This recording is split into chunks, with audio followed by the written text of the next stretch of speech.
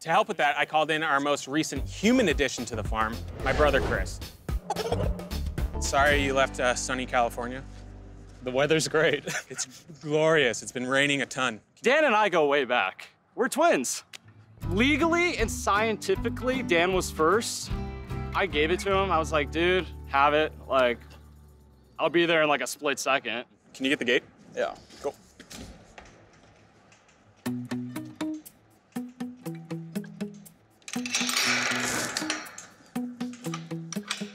There you go. You got it. Chris, rule number one. When you open a gate, close it.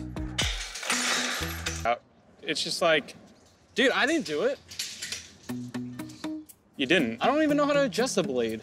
I'm just the guy who drives. You don't even know how to drive. Can you open this? I still have not figured this out.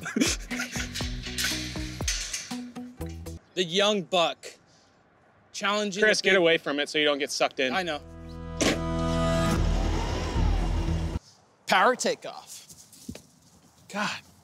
I'm so proud of my boys. So, Is there water right now? no, we'll have to Okay. set that up. Just Put buckets out, out on the field. a trough. What's a trough? Remember, there are no dumb questions. It's true. You're pushing But- it. Yeah, I'm setting the bar for sure. Yeah. Today is actually the first day where I'm like contributing, where I'm not in their way, where they're trusting me with tasks. I got a walkie-talkie. People are excited. You know, it's good for your health to be outdoors. I It's agree. good for your mental health to be outdoors more. It really Definitely. is to have your feet on the earth instead of on concrete. It got you back out on the farm too. It did. It did. And me. And yeah, you too.